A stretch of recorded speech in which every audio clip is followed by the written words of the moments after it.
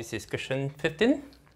So given that this is a rectangle, so if we fold this point B along the diagonal, we'll get this figure here.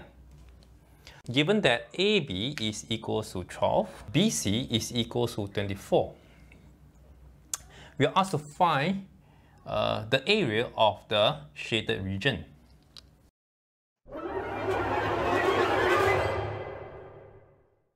We see that this is a right angle triangle because this is a right angle triangle. And also this is right angle triangle because this is a rectangle. Uh, AB is equal to DC and this is equal to 12. And we can see that, uh, call this point E, we can see that CDE is congruent to the triangle ABE uh, because these two angles the same and it's right angle and AB is equal to CD. And because of this, DE will be exactly equal to BE. DE will equal to BE. And let this to be equal to A. BC is equal to 24. BC will equal to AD. And if DE equals to A, then this will be equal to 24 minus A. And BE is equal to DE equals to A. Then now we can focus on this right angle triangle.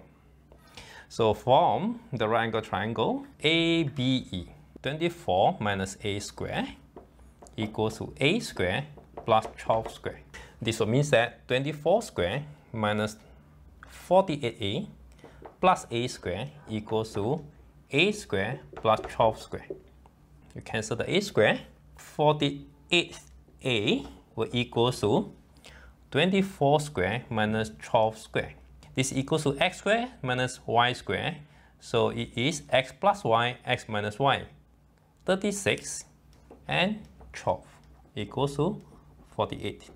12, 48 remain 4. 4 and 36 is 9. Therefore, A is equal to 9. A equals to 9, EA will equal to 15. The shaded region is a triangle.